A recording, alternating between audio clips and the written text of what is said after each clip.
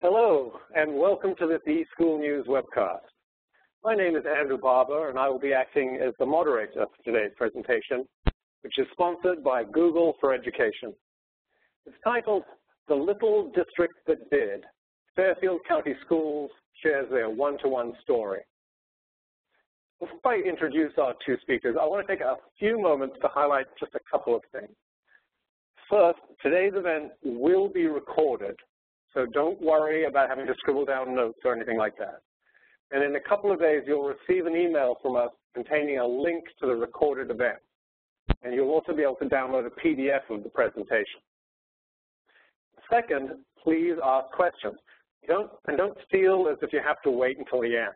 Uh, at any time during the presentation, if you have a question, just type it into the Q&A box on your console and hit the send button. I hope we'll have 20, maybe 25 minutes at the end for our speakers to answer your questions.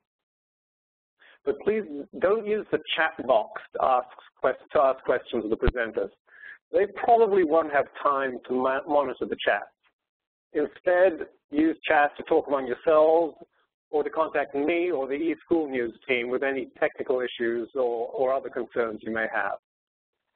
With that, with that out of the way, let's turn to today's speakers. Brent Sava is Google's Education Program Manager for small to mid-sized districts in the Southeast.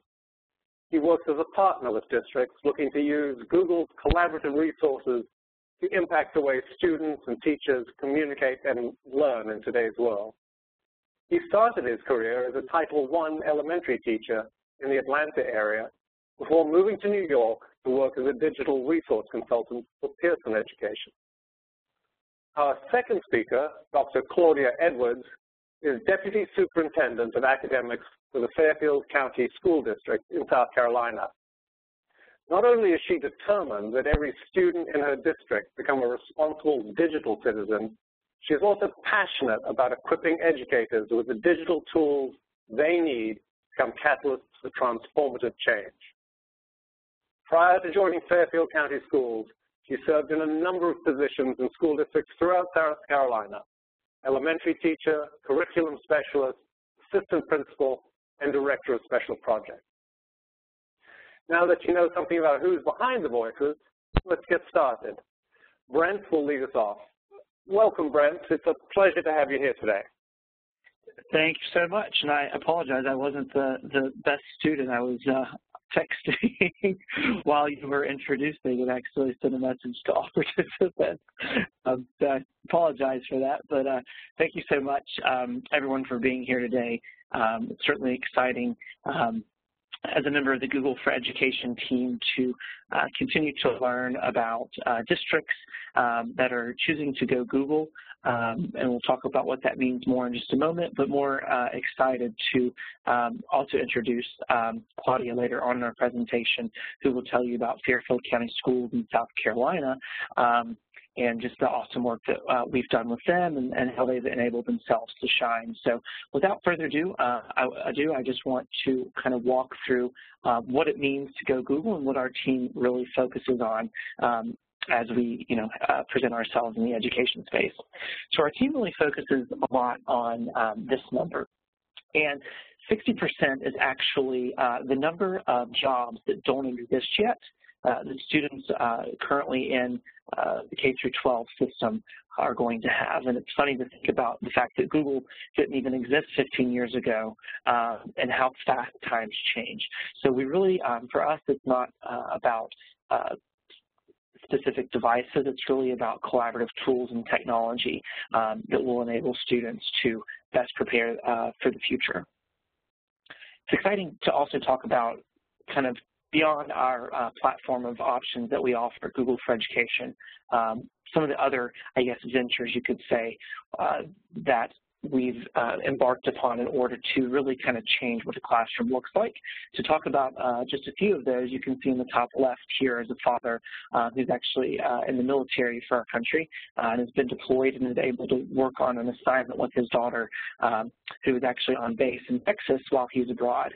Um, you know, as if he were standing there with her at the kitchen table working on a document, um, he's able to do that from around the world. In the top right, uh, we have a politician um, who's able to sync in through Google Hangouts. Um, when I was in the classroom, one of the things that I guess I came to quickly understand about education is that so much of our life and, and learning is about um, being exposed um, to things beyond the classroom. So with Google Hangouts, um, it, it's great to be able to bring in uh, folks from uh, all different professions and from around um, different parts of, of, of uh, different fields and around the world to come into the classroom and get to speak with students. We actually had President Obama at one point uh, over to Google Hangout. Uh, so that's really, really awesome to be able to bring in um, resources that you might not uh, be able to otherwise. In the bottom left, um, it's Google um, Art Project, where we've actually, uh, this is a picture um, that's housed in the Chicago Institute of Art. Um, and we have taken such a high resolution picture of it, you can actually zoom in um, and see the brush strokes. Um, so again, able to go on a tour that you might not uh, be able to otherwise go on. And then uh, with Google Treks in the bottom right, we can see uh, a virtual field trip to the Galapagos Islands. Um, so again, just really awesome ways to be able to engage and interact with students in a way that um, didn't formally exist. So for, for us and for our team and Google at large, it's really about having open technology to improve learning for everyone um, and, and, and, everywhere. And so again, it's about learning when you want, where you want, and how you want. Um, it's not about, again, about devices. It's about learning learning on the move and learning in ways that are, are comfortable for um, ourselves and, and the technology that we use. So when we talk about our Google for Education team, um, there's really, I guess, four uh, buckets you could say that we focus on.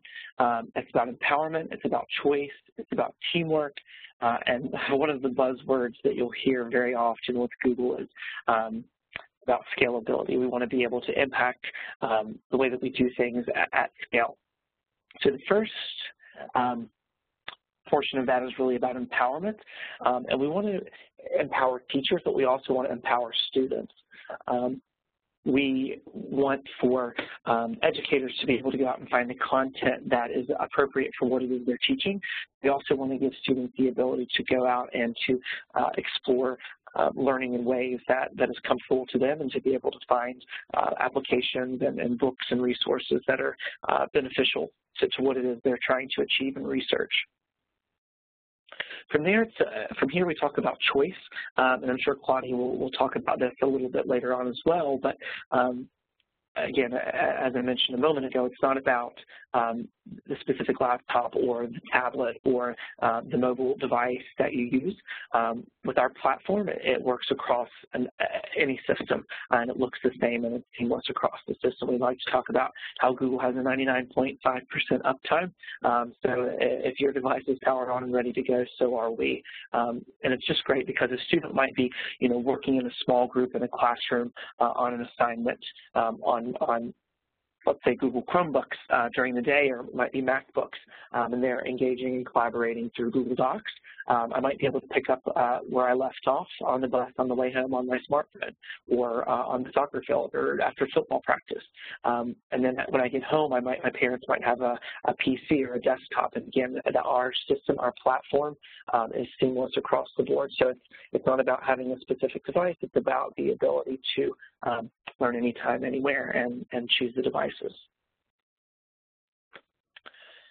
Um, we talked about teamwork, and um, if you've never used a collaborative doc before, um, this is this is what it looks like. You can see we have two folks here who are, um, you know, sharing information uh, for teachers. A lot of times, this is uh, working on lesson plans collaboratively. Obviously, students can work on assignments. Um, I had a district the other day. I was talking to how they um, were working with their board, uh, their board members to actually um, work on a new uh, presentation, I guess, for, for the district and to be presented uh, up for passing, and they all were working on it through a collaborative doc. So it's really awesome to see how um, teamwork uh, is changed through the ability to collaborate um, through, our, through our, our platform. And last but not least, and the, the one word that I said you'll, you'll hear a lot is about scalability. Um, the great thing with going Google is the fact that you can manage uh, four or 40,000 devices um, all from all from the web, all from one computer. So for IT directors, um, this kind of really changes the, the landscape in terms of being able to um, update uh, network settings. Uh, we push out security updates every six weeks, so uh, we really kind of alleviate the need for um, summer updates or, or refreshes uh, for for um, software and things of that nature because it's all done through the cloud. Uh, on the classroom level, it's really awesome because teachers now have the ability to differentiate learning on the spot, uh, whether that be with apps um, or when we talk about the tablet world, um, you can actually push out an app and within 30 seconds it begins downloading uh, on the devices of the students. So we really changed the, uh, the landscape in terms of um, how devices are deployed, uh, but also how content is deployed and, and how quickly it's done. When we talk about uh, Google Apps for Education, that's um, really our core services uh, as a Google for Education team. That includes Drive, Calendar, Gmail. Um, some of you might be familiar with recently released Google Classroom, uh, which has uh, kind of revolutionized how um, teachers and students interact uh, with Google Docs and, and um, in the classroom, and then last but not least, slides. So I want to take a moment really quickly to kind of show you um, our Learning Has Gone Google video, which kind of nicely highlights what the products look like live.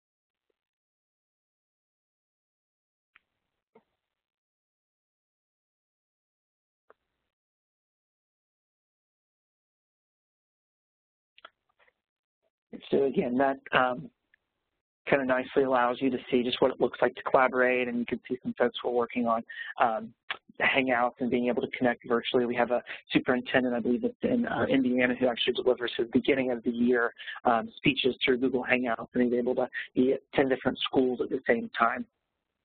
Um, from here, we like to talk about the fact that um, over 80 of the top 100 universities in the country right now have gone Google. Um, and uh, from there, we talk about the fact uh, that we have 30 million, um, almost 40 million at this point actually, um, students and teachers across the world who have uh, adopted Google Apps for education. Um, again, we're not just US-based. We uh, have students in more than 180 countries that use Google Apps. And the best part about going Google uh, in terms of our platform with uh, mail, as I mentioned, calendar, docs, uh, drive, things of that nature. It's all entirely free. Um, so it's really awesome to know that uh, Google is uh, of the belief that education should be free and attainable, um, and that's why we've come into the education space and are uh, offering our um, Google Apps for Education entirely free of charge to districts.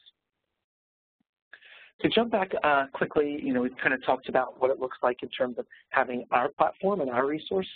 Uh, we found that uh, as districts went uh, Google with Google Apps for Education, there was also a need for affordable devices to be able to bring down these cloud-based resources at an affordable price. Um, and so you might be familiar with Google Chromebooks, um, and you can see on the right here of the screen, we also have our Android tablets. And we really found that with our portable devices, we're taking the country by storm, and although uh, we're relatively new in the education space, uh, we're having a really large splash, and we're well poised to be the number one device uh, in the education space here, uh, hopefully in the near future. So Chromebooks really allow us to get um, to lessons faster, uh, the same experience everywhere. Information is easy to share uh, in the fact that everything is cloud-based, and we always like to highlight uh, the fact that they're safe and secure.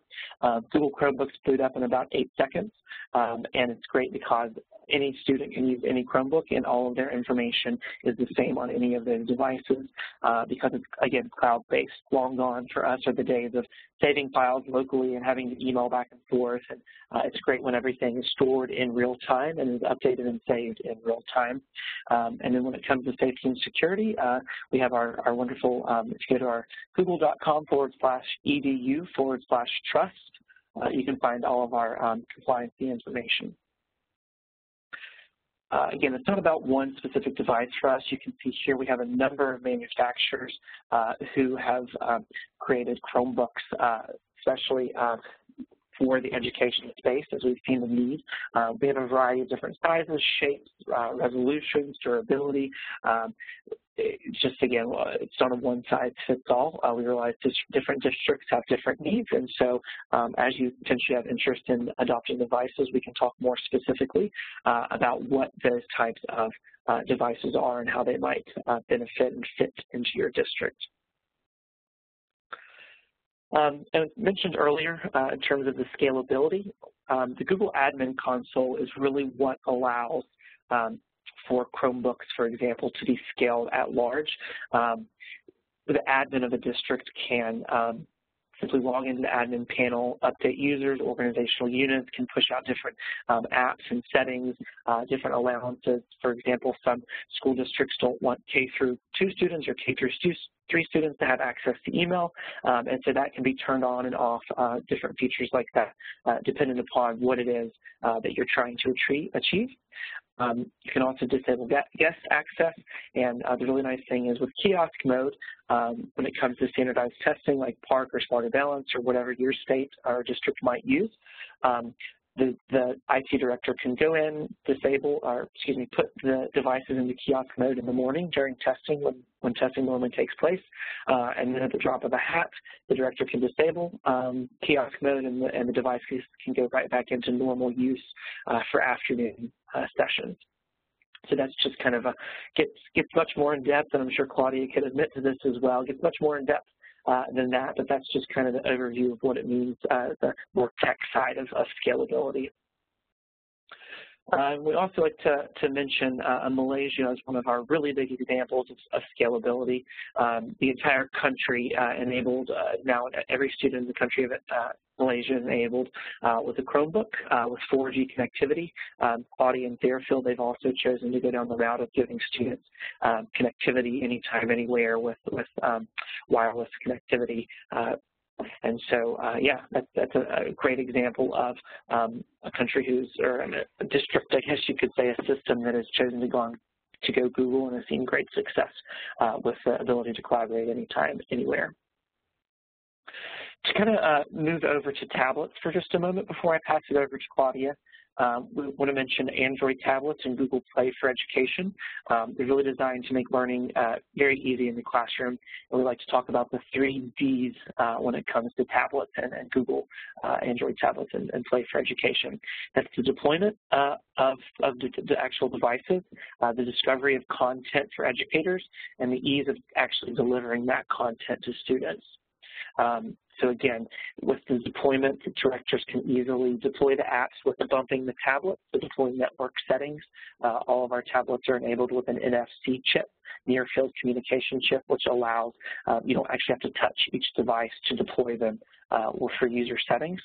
Uh, once the de devices are easily deployed, we've, uh, we've got to actually take a step back. We have a really cute video of some students in Chicago who were able to deploy 30 tablets within three minutes, uh, I believe it was, um, for a classroom. So uh, by simply bumping the tablet, so deployment has really changed for us. Uh, the way uh, has for us has changed how, how um, tablets are deployed. When we kind of go down to the um, classroom level, again, teachers can go into our Google Play for Education store.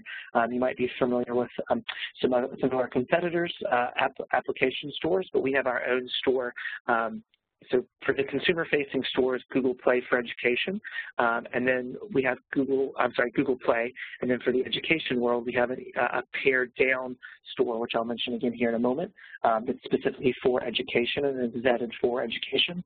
So teachers can easily go in and discover content that's appropriate for their classroom. Um, and then again, the ability to deliver that content within you know 30 seconds to a minute uh, on each student's unique device. Um, I always like to point out because uh, it's important for districts to know that you can't just walk out to a retailer um, and be able to uh, purchase an Android tablet and manage it uh, in the education space. We actually have four devices that are approved for Google uh, for Education. You can see those devices here. Uh, again, we like to give uh, options in the educational world. You can see our different devices here, different sizes, different price ranges. One of them actually can come with a built-in keyboard. So again, it's not about a specific device for us, but these are the four devices currently that are approved for the education space. Um, we have um, some other manufacturers who have approached us about de developing uh, additional tablets. Another great thing uh, about our tablets is that you can have more than one user on each tablet. Uh, you can see here, uh, you, uh, we actually allow for you to have up to five students on a tablet. It's a unique experience for each student, uh, even though it is the same device. Um, which has really kind of uh, revolutionized being able to take the cost of the tablet and stretch it to more than just one student. Within uh, Google Play for Education, uh, we have Android apps, we have Chrome apps, we have K-12 books, and then we also pare down YouTube uh, in the education space to uh, vet videos that are appropriate for uh, the K-12 environment.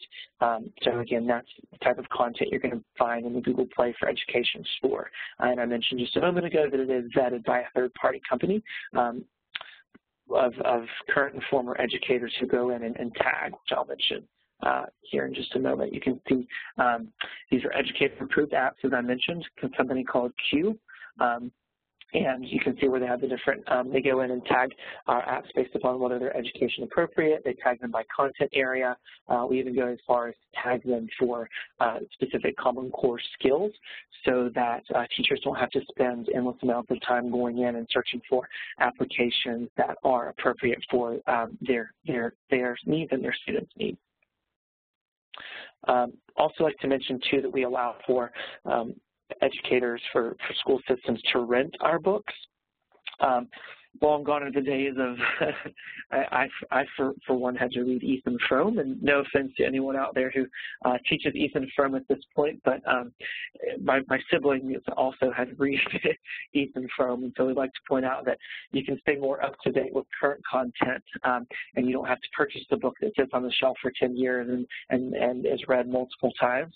Um, some teachers really like to go out and pull in newer content, whether it be the Hunger Games or other other um, novels that students are into, and, and you don't have to invest in a hard copy book. You can rent them uh, for a number of months or half a year uh, to enable more affordable um, content to come into the classroom. And I wanted to mention one other thing really quickly too before I move on to Google Classroom and pass it over um, to Claudia. We actually um, allow for school districts to purchase um, our apps via PO. Um, so again, a credit card is not required uh, to purchase apps uh, through our um, App Store for devices. It can be done through a system-wide um, PO, uh, which has really enabled districts to more easily uh, not only purchase uh, apps, but be able to assign certain amounts of uh, money to be spent on apps for certain classrooms or departments. Um, so again, that, that's a nice differentiator for us. Um, and I'll mention Google Classroom uh, is was released in uh, just uh, two months ago, really, at this point, which has changed the way that teachers and students interact uh, with Google Docs and Drive and Gmail. There's lots of notifications now where teachers can uh, set due dates and um, lock in uh, specific content. And so what I want to do now is um, jump back and actually show you what the product looks like live, and then we'll pass it over to Claudia.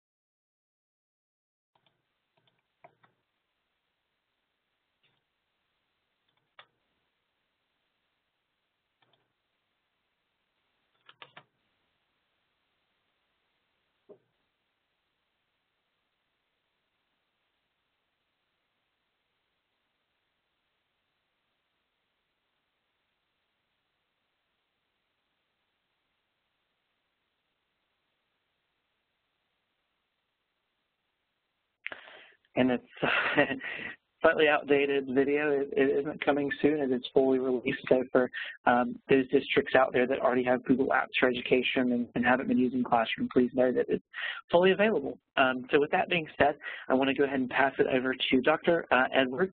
Uh, she's the Deputy Superintendent of Academics, as Andrew mentioned earlier, uh, and excited for her to be able to tell you more about Fairfield County Schools in South Carolina and their one-to-one -one story. Thank you, Brent. Um, today I'm going to share with you a very quick video that I believe is truly a mouthful. This video will share with you our, give you a glimpse, a glimpse into our journey to become one-to-one -one with Google.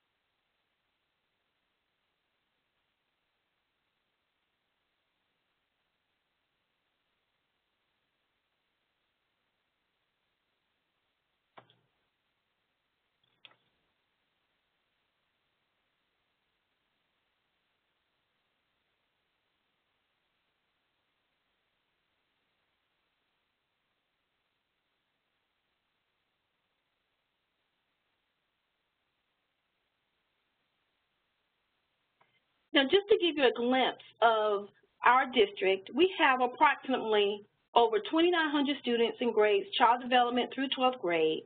85% of our students qualify for free and reduced lunch, and currently we have 1,140 Chromebooks deployed to students in grades uh, first grade through 12th grade. Our small district is composed of five elementary schools, one middle, one high school, one career technology center, and one alternative ed center. We have a very, very small committed technology and curriculum staff that you will hear more about that really makes this one-to-one -one story happen. Now, our journey began in 2012, and you notice here on this picture, this picture represents myself and my team, and we literally jumped off the cliff back in 2012 with the idea or the concept to move forward with the Google Chromebooks. Now, as I said earlier, in the video, I came back from an opportunity in, in Florida to attend a conference. This was my first opportunity to really see a Google Chromebook in action. And I rallied my troops, I rallied my team together and said, I found something that I really think could truly impact what we wanted to do with our students to impact student learning. Now, our one-to-one -one goals, we had three goals, but of course the student being first. The first goal was that we truly wanted to impact student engagement. We found that some of our classrooms still were teacher-centered, and we wanted our classrooms to be more student engaged. Additionally, we wanted to make sure that we had equitable access to the computers for all of our students. And we felt that the Google Chromebook, along with the, the suite of tools that Google offers, was something that we could easily sustain over time. Now, as Brent said earlier, the Google Chromebook has an eight-second boot time, is easily managed, And best of all, the Google Apps for Education suite of tools was free. It even, allow, it even allows for student collaboration. It was cloud-based, so that meant that my technology department didn't have to worry about managing um, this particular hardware. And best of all, it was powered by the Chrome web browser.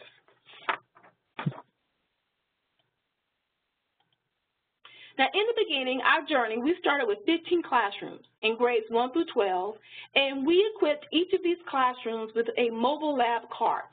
We started with a, commit, uh, a committed group of individuals who met monthly in collaborative meetings.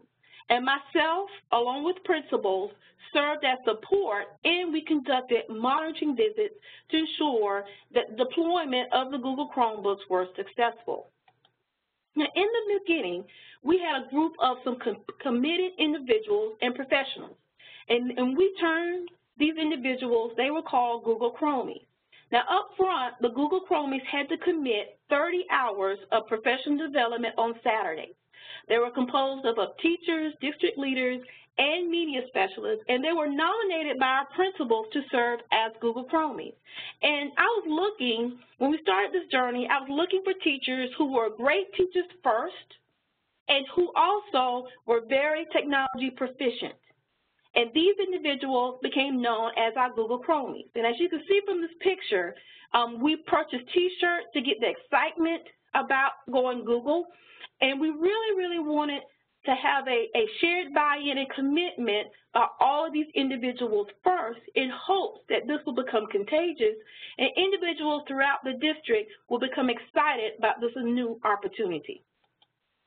Now, when we began this process of deploying, uh, we centered around some core apps that we first wanted to make sure that our classroom teachers were comfortable in using. We um, use, utilize Google Animate, which is a video creation tool, Remind, which is a um, text notification system, WeVideo, which is a video production app, Quizlet, FlashMaker, Classroom Dojo is a tool that you can use for classroom management.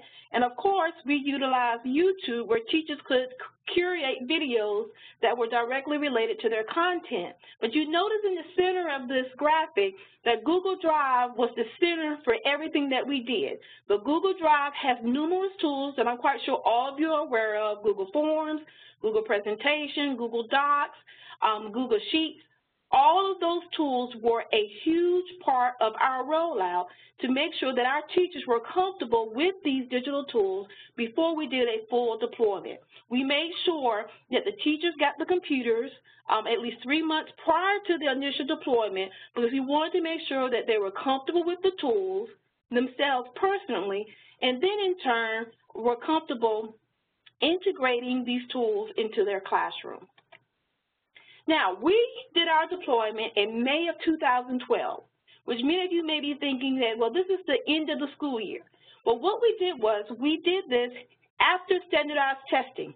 The students tested in the morning, and in the afternoon, we actually tested our students um, or tested the deployment of these computers with our students. If you notice here in the pictures in the left and the right, you have a, one of my district staff persons on the left, the teacher on the right. And that was intentional. When we deployed our Google Chromebooks, we paired the, new, the teacher with the district staff person to make sure that they had support in the classroom throughout this particular rollout.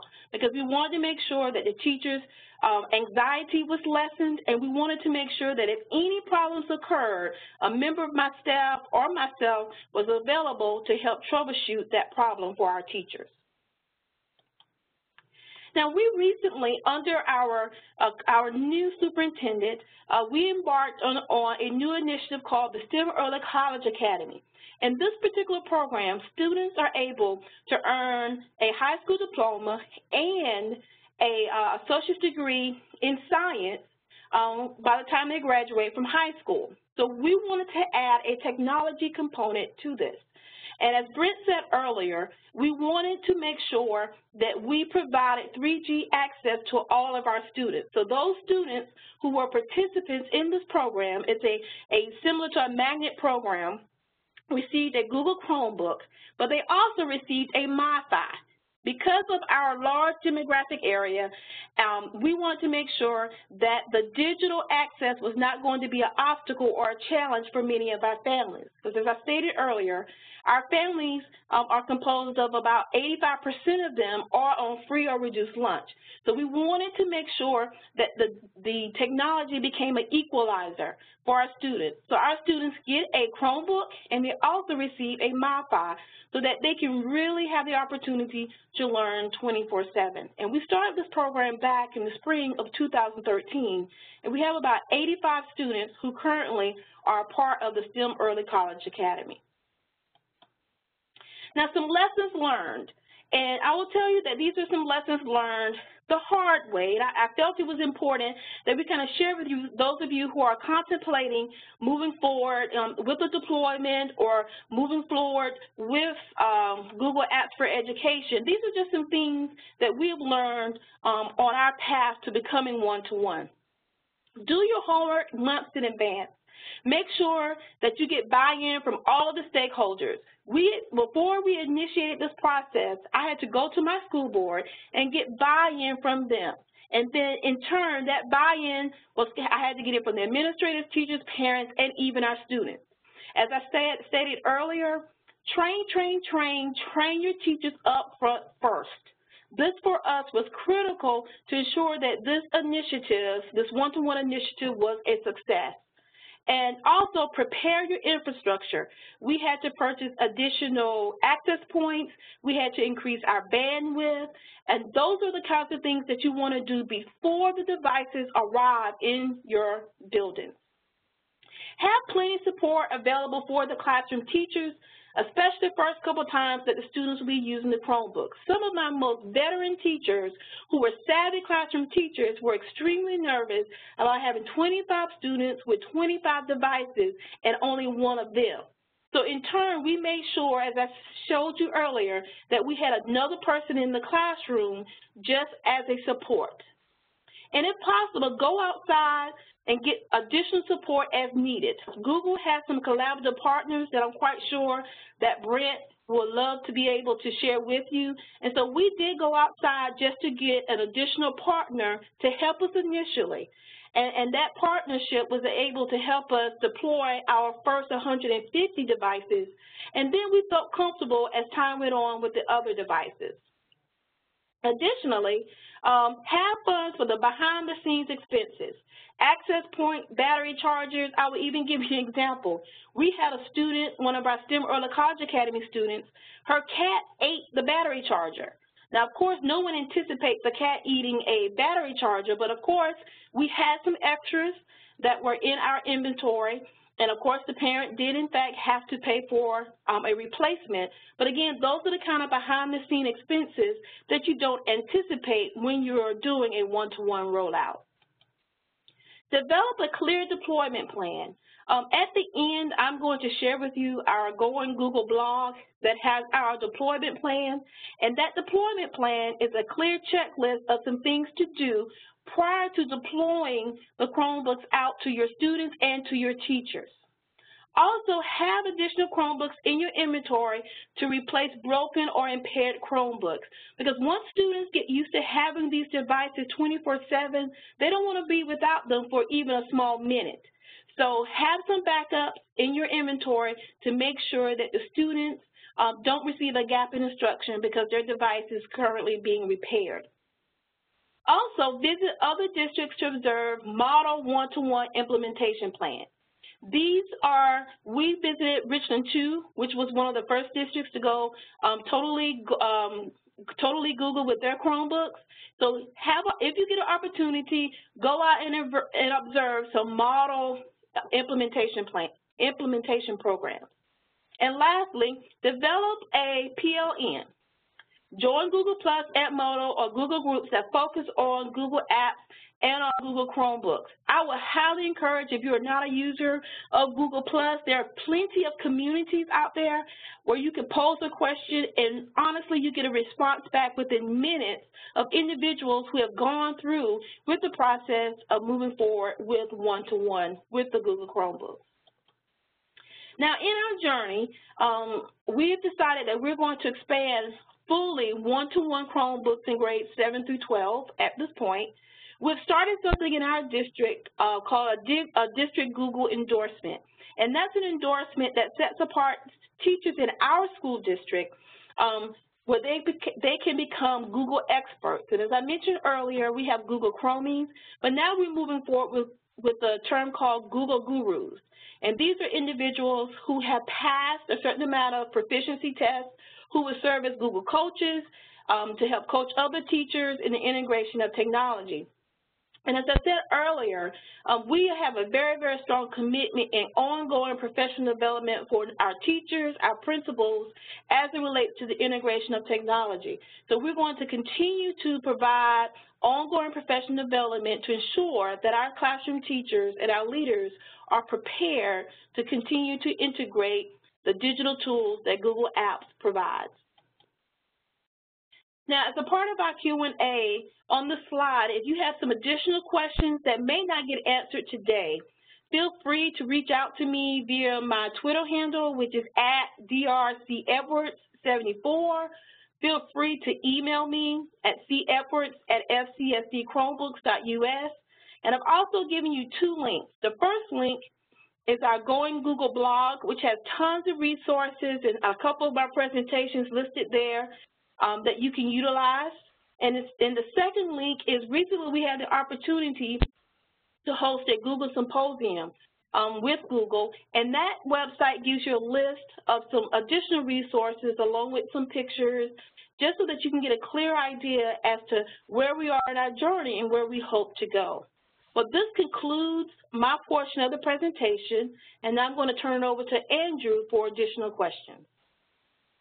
Right, well, Claudia, thank you, and, Brent, thank you so much for sharing your insights about using Chromebooks and Google tools in an educational setting. We, we have uh, a little more than 15 minutes remaining, which is a good thing because attendees have a lot of questions for both of you. Um, so let's see how many we can, can work through. And, and, the first one I would actually like to address to both Brent and Claudia. Uh, you know, during the during the presentation, uh, Claudia referenced uh, students using MiFi if they didn't have internet access at home. And this is obviously a major problem around the country. So, uh, you know, Brent, why don't we start with you to talk about how, um, it, with a cloud-based solution like this, what are some of the solutions that uh, schools are using for students that do not have internet access? Sure. So um, the great thing is there's offline versions of uh, our platform of solutions. So for example, a student that doesn't have uh, internet internet access at home, um, for example, the teacher could you know give the assignment during the day and uh, just make sure that they have the offline functionality of our platform of devices enabled. Uh, so uh, when they leave um, you know, a Wi-Fi enabled area that they can still edit a document. Obviously, the collaboration wouldn't take place, unfortunately, because of the fact that you have to be uh, enabled. But a student could still very easily work on a, a presentation or a, Google Sheet or Google Doc, um, and then as soon as that student is back uh, and, and uh, connected uh, again, all of that information will update. So uh, definitely a question that we get often, but we certainly work to make sure that Chromebooks and Google Apps for Education aren't just something that would, well, Chromebooks especially aren't something that would just work online when, when you're enabled. okay, all right. Uh, Claudia, could you talk a little bit about the MiFi program and, and how you set that up and negotiated it and, and how that's working? Well, we uh, went with a, uh, a, a cellular provider um, who has um, enough coverage within our geographic area to provide the MiFi coverage for our students.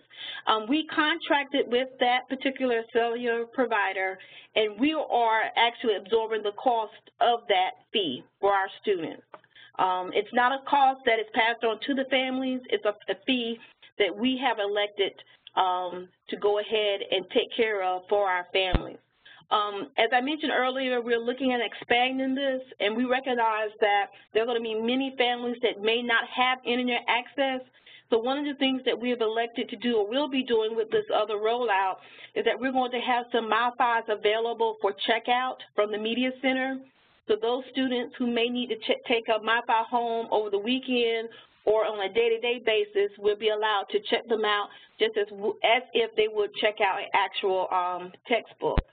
And then the other thing is, is that um, we open up our buildings very early on Monday through Friday.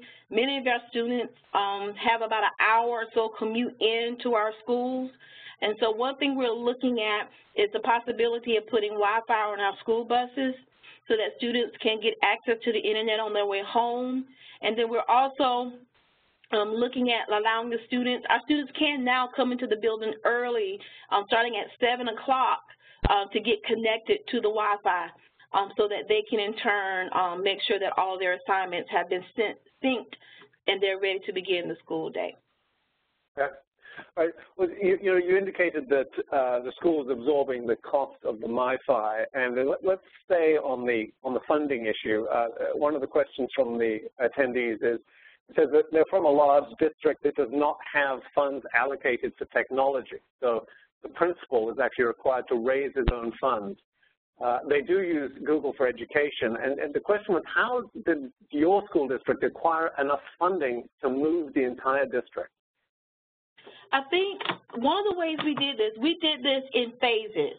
Um, as I said, we started in 2012, and what we did was we leveraged funding sources um, such as Title I, our federal dollars, um, to, to go ahead and outfit our schools with the Google Chromebooks at the elementary level. And then also we use some state funding um, that I, I set aside specifically to go ahead and purchase uh, Chromebooks in phases. Um, this new rollout deployment that we'll be embarking on within the next couple weeks, uh, as a part of our superintendent's vision, um, we have uh, set aside money in our capital improvements as well to help sustain this in the long run. So if any any advice I would give is to start small and leverage the uh, the financial resources of funding that you have at your disposal um, first, whether it's Title I or some other state level or local funding, and then do it in phases um, and then hopefully by the time you get to a certain level, whether it's the second or third year, you will then by the third year would have gone ahead and been able to go one-to-one -one by buying a little bit of Chromebooks at each time. Okay, terrific. Well, you know, for the next question, why don't we turn back to, to Brent? Uh, Brent, one of the one of the attendees uh, was wondering about whether they'd be able to disable the email portion of, of, the, of the Google products uh, will those students still have access to, if they disable email, will they still have access to the other apps such as Drive and Classroom? Yep, that's a, certainly a great question and one that deserves another one, another point of clarity. Um, again, when we talk about the scalability, that's, that's what's awesome. You don't have to touch each device in order. Since, since all of the settings are applied to a user, not a device, um, IT director can go in and absolutely we can turn off uh, email, for elementary students but enable for middle and high or vice versa, and you absolutely have access. So, um, you know, you want everyone to have access to classroom, but only certain students or certain organizational units or groups of students uh, to have access to uh, mail or drive or docs, or you, it's very easy to cater uh, very uh, specific uh, access to different different users. Okay. You, you talked about scalability a, a lot, and um, in one of your slides, you mentioned the you know, 40,000 devices. Uh, is was that an actually uh, an upper limit, or was that just a large number you pulled? I mean, what about 160,000 devices? Is this is this uh, the sky's the limit here? Um, yeah, I mean that's that's really our goal. I, I don't know if there's ever been a test for if there is an upper limit, but obviously you saw with Malaysia and have 100,000 Chromebooks. Um, I, our largest deployment to date in the United States has been about 32,000, I believe, and again, it, it changes uh, all the time. But um, that's that's the whole point of being cloud-based is that with settings being able to push out uh, through the cloud uh, and, and, devices managed through the cloud, there, there really is, you know, it's unlimited. So yeah, 40,000 isn't certainly an upper limit. I think it's just looked good for being able to say uh, in a presentation from four to 40,000. Uh, yes, yes. It did sound good. Uh, all right, uh, Claudia, why don't we, we, we come back to back to you? Um, and but a question about the actual how the computers are used during instruction. Um, is it possible for the teachers to manage the student computers during instruction? Can they control student computers? You know, take control of them? Can they can they push web pages, etc.? Uh, how, how does that work? Well, we purchased a, another software program called Hapara, which is an external um, tool to Google. And, but it works in um, it works in um, in collaboration with the Google tools. So if you were to buy Hapara, you could basically close student screens. You could observe what students are working on. Um, you can monitor their usage. I have even been at home at night and want to see what some of the STEM early college students were doing, and I was able to log into my Hapara account, go to a particular student, and see exactly what they were actually working on in real time. And at the time, I, the student was working on an assignment, and I, I was able to send the, uh, the student a comment saying, good job. On one instance, I noticed that a student was on something that I had a little bit of question about, and so I sent that student an email or a comment while the window was open, and it freaked them out for a minute because they didn't realize I was, you know, looking in the background. However, they were able to respond to my question, and it calmed my fears. So Hapara is one is one thing that you can definitely utilize to help the management overall um, of the of the um, usage of the Chromebooks in the classroom. And I, and one other thing I'm going to add to that is that one of my Google Chromies, one of my teachers came up with a brilliant idea. She he he makes sure that at all times that he can see the screens to his students. So he has his students sitting in a U-shaped and the student screens are always facing toward the U so that he can always see exactly what the students are doing just by looking across, um, standing at the top of the U and looking across to all of the computers. And now um, I'm going to jump in real quick if that's okay and just add a couple couple comments. Um, with Google for Education, we uh, I didn't mention this in the presentation, but we had, there are a lot of great um, again, I kind of uh, have an emphasis on being an open environment. Uh, there's, I say that to say there's a lot of great third-party content out there, like Hapara or Primevo has um, uh, the company that has similar uh, type of ability to kind of monitor uh, devices.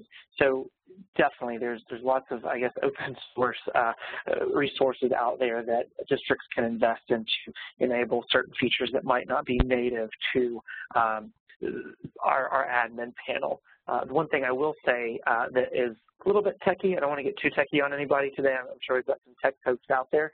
Uh, but with our devices specifically and with Chromebooks, we actually have an awesome feature called forced re-enrollment. Um, obviously, theft can be an issue in certain districts, and I don't know if Claudia can, can talk about any issues that she's had, but um, with forced re-enrollment, uh, actually what happens when a, when a Chromebook, for example, arrives in a school district, you enroll that device to your specific domain, um, and that device cannot be used by a user that doesn't have access to that domain.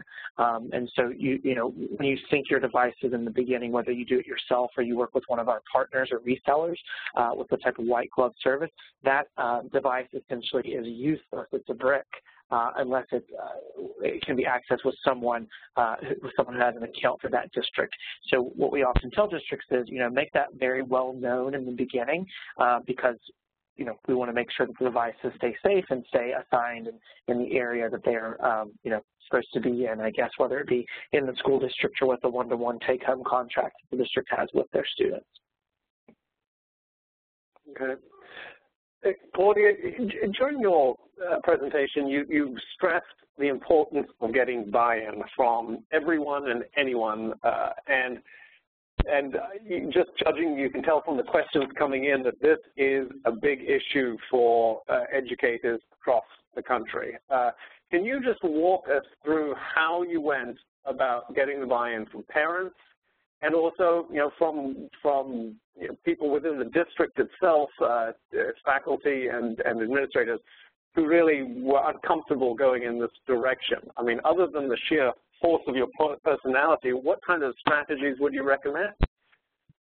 Well, I think one of the first strategies that I would recommend is modeling. um, it was very important as leaders, and I'm speaking from my position as a leader, is that I am modeling my expectations. I'm a Google Chromebook user, so when I am conducting meetings, I'm going into classrooms, I'm actively going into classrooms and actually supporting teachers and students. I'm working with students as well and actually um, uh, getting um, the students to become more comfortable with the technology, which isn't very difficult. Um, but to go back to your question, going back to the buy-in, I think one of the first things that I had to do was that I had to pick, with the support of my principals, the, the, the right people to sit on the right seat on the bus. And those were the individuals who literally will tell me up front, Dr. Edwards, I feel comfortable, uncomfortable doing this. Then I will in turn say, okay, let's figure this out together. I didn't leave them to figure this out by themselves. So you have to have a, a, a, a committed group of core professionals first. Get those individuals to be your champions to, to really start drumming up the excitement. And then in turn, those teachers would then get other teachers involved and excited. And then it becomes a system. It, it becomes like people are getting. It's like it, it, it, it's just the excitement starts to really develop. And then with the T-shirts, I paid a couple dollars for a T-shirt, gave it to those teachers. Those teachers then in turn became ambassadors because other people who did not have a teacher, a T-shirt wanted to know what what do I need to do to get a T-shirt, and then then the teacher then in turn can give a commercial about, well, these are the things that we're doing with the Google initiative. This is what a Google Chromebook to do. So it's important that you get some champions, people who are going to be your champions out there. Now, I will tell you, we had some individuals who were not um, comfortable with um, the fact that this was a computer, a laptop, a netbook. They were uncertain about, well, I don't hear anything running in the inside. How can this be a computer? Is it secure? Is it safe? And so we literally had to do some information sessions with our parents, letting them know that you have access to your child's password, user account at any given time. We showed them how to log into their child's account so that they knew that they could be a part of this learning journey with their child. You have to do a kind of like a three-prong approach with starting with, first of all, you got to have your board buy-in, followed by your classroom teachers, and your parents, because the students are ready for the technology, we have to catch up to them. And that's kind of how I sold it to a lot of my um, stakeholders here. Okay, well, we probably have time for maybe maybe one more question too, if if we really rush. But uh, uh, you know, with this Chromebook initiative that you you, you put into the schools, you know, there's obviously a lot of legacy instructional resources and other technology that's already in place in the schools that has been there prior to the Chromebook. How do you overcome the obstacles of, of these instructional resources and, and, that are not compatible with Chromebooks? What, what, what have you done with them and, and what is their face? And I think you're leading to, Andrew, maybe perhaps textbooks. Um, like the textbooks are used mainly as a supplementary resource. And so um, it does not, um, the, the, the, the, the, the textbook itself is still a viable part of the curriculum, but the teachers have learned to use the technology to enhance what they're currently doing. And I think that's important to realize that the, the technology does not replace good teaching. And I think it's important that anybody who decides to move forward with a one-to-one -one technology initiative you have to have good sound instructional practices in place first, and then the technology will enhance what you are already doing really well. And I'll jump in really quickly too and say we don't mention this uh, in the presentation, but we actually uh, also have another uh, device. If you're, if you're talking specifically about legacy hardware, um, districts that have like labs, for example, we have something called a Chromebox that actually allows you to take an existing monitor and essentially turn it into a a Chromebook with a Chromebox. So just to kind of toss that little snippet out there. Um, but aside from that, I mean, it's just a matter of like device refresh, Andrew, in terms of districts that are looking to uh, uh, replace legacy technology if they choose to go Google. Um, you know, it's just a matter of replacing existing laptops or, or desktops with uh, our devices. So hopefully that kind of answers um, legacy yep. hardware questions. That, that's great. Thank you. Uh, and unfortunately, that's all the time that we have left today, and, and I apologize. There are an awful lot of questions that uh, attendees posed that we did not get to, and I apologize for that. I wish we could go on, uh, but unfortunately we must stop here. I do want to thank uh, Brent Sava and Dr. Claudia Edwards for their excellent presentations. Uh, it was really fantastic, and I also want to thank Google for Education for its support today. And a final reminder, we will send out an email to all attendees when the recording of the webinar is ready. So thank you again, and this concludes today's webcast. Goodbye.